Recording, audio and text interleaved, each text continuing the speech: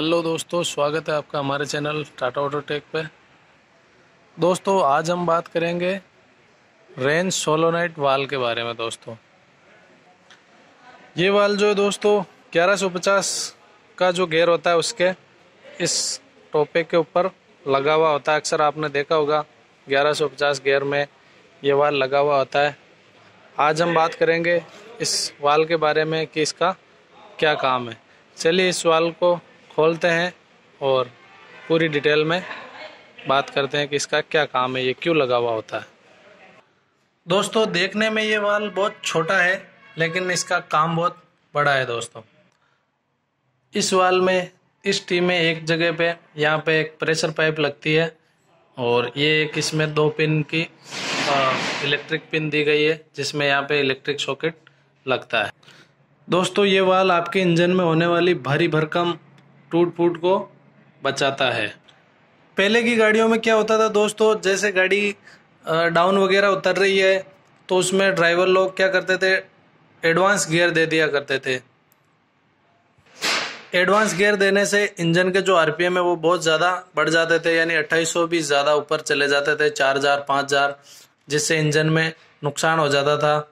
Engine की push road वगैरह band हो जाती थी। इंजन में गाइड टूट जाती थी। या जो टेपिट रॉकर होती है, वो छटक जाती थी।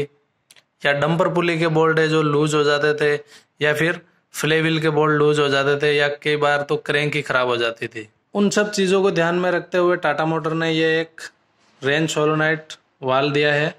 इस वाल का काम ये है दोस्तों, कि आपकी गाड़ी अगर हाई रेंज में चल रही है तो ये लो रेंज लगने ही नहीं देगा। जैसे कि मान लो आपकी गाड़ी 20 की स्पीड से भी अगर ऊपर है तो आप एक, दो, तीन, चार गेयर जो है नहीं लगा सकते। वो लीवर को उस साइड में लो रेंज की तरफ़ आने ही नहीं देगा। इसमें एक ये वाल सा लगा हुआ है, जो ये प्रेशर के दबाव से टोपे की राड पे जो है टिका हुआ होता है। अगर आप लीवर को लो रेंज की तरफ़ लेके जाएँगे तो ये वाल दब जाता है और उस राड को जाने ही नहीं देता। यानी लो रेंज ये वाल लगने ही नहीं देता। अगर लो रेंज हाई स्पीड में नहीं लगेगा तो हमारी गाड़ी में कोई भी तोड़फोड़ नहीं होगी। इंजन के आरपीएम जो नहीं बढ़ेंगे।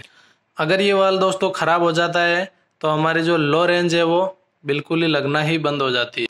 अगर आप इमरजेंसी में, अगर रास्ते में कहीं ये वाल ख़राब हो जाता है तो इसकी पिन को आप इस तरीके से निकाल लें, जिससे ये काम करना बंद कर देगा।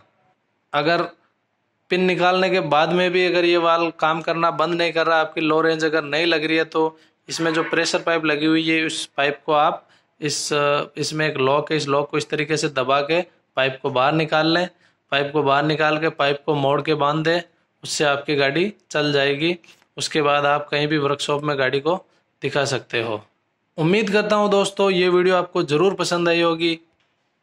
अगर आपको ये वीडियो ज़रा सी भी पसंद आई है तो चैनल को सब्सक्राइब करें, वीडियो को लाइक करें, अपने दोस्तों के साथ शेयर करें।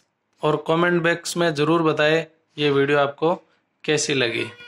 धन्यवाद दोस्तों, मिलते हैं अगली वीडियो में।